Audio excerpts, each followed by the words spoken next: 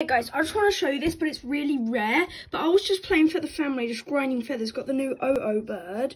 And I just saw a notification on the screen that said a wildfire has started. And you see that orange? Okay, well it's not, I'm in the sanctuary right now, not the best place to be um searching. And also the next best place, not the volcano. Um, if we teleport to the forest real quick. And yeah, that, that kind of, um, oh, it's, it's hard to, it's hard to fly when you're, so holding a phone, hold on. Um, but as you can see, um, yeah. And this is all over the map, just so you know.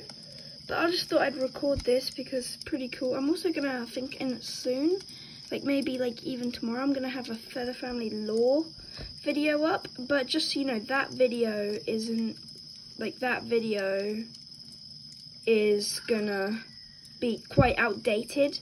Because of course the OO is a new prehistoric bird.